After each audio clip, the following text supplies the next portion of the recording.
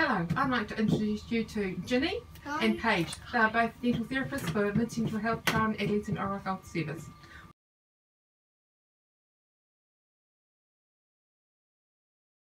Um, I wanted to develop my skills with good support, and I didn't want to live in a crowded city um, for my first year of work. And for me, I really wanted to build on my pulpotomy and stainless steel crown skills. Yeah.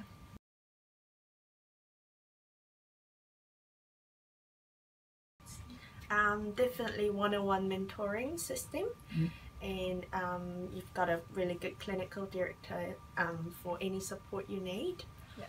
And I really like the idea of working in a team situation, sort of at the school facilities, where you can work with other people and you can always ask for help if you need it. Yeah.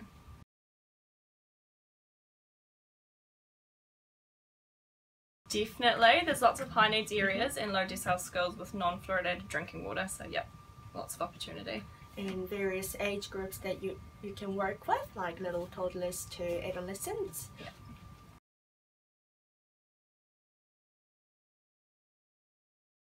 Definitely, Yes. I feel like the support team here is amazing, Mhm. and our clinical director Phil, he's awesome. We do often um, peer support groups, Yeah. working on skills, things like that. Yeah, it's great. Like um, he helps with the X-ray reading kind of stuff because first year you'll find it quite difficult. Yeah, And yeah. you can call him anytime and reach him and ask some um, help. Yeah. Mm. He's very approachable. Yeah, he's awesome.